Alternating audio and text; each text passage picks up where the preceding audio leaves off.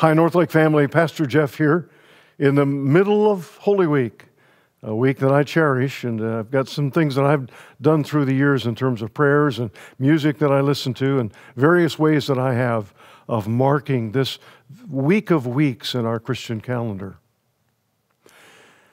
Richard Foster is a, a, writer that I've known for decades. And way back in 1978, he wrote something in a book that I read and uh, it surfaced again recently. It really caught my attention.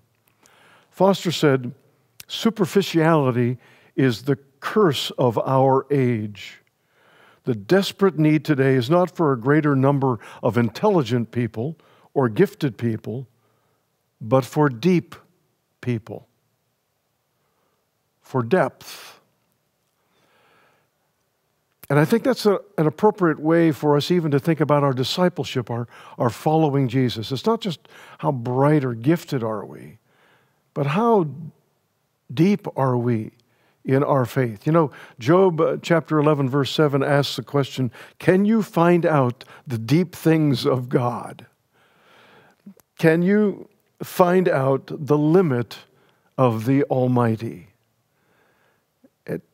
Probes this, this question of, of the depth of our faith and, and understanding the dimensions of what God is doing and has done. And what I would say to you is that this week of all weeks, with Maundy, Thursday, with Good Friday, and certainly with Easter, it, it's a week that, that allows us to go past the superficial in faith into tremendous depth of understanding what God is up to through His Son, our Savior Jesus Christ. So I really do hope that for you, mm, tomorrow evening, Maundy, Thursday, 7 o'clock, being here in the sanctuary to share communion and to be a part of the worship is something that you want to do and contributes to the depth of your faith. Likewise, on Good Friday, the noon service here uh, in the sanctuary, marking the beginning, the first hour of the three hours that Jesus spent on the cross. And of course, Easter. We won't miss Easter together, will we? One way or another, we will celebrate the resurrection and the life that Jesus offers us. I appreciate what Paul wrote to the Ephesians. I want to read just two verses to you. This is Ephesians 3, verses 18 and 19.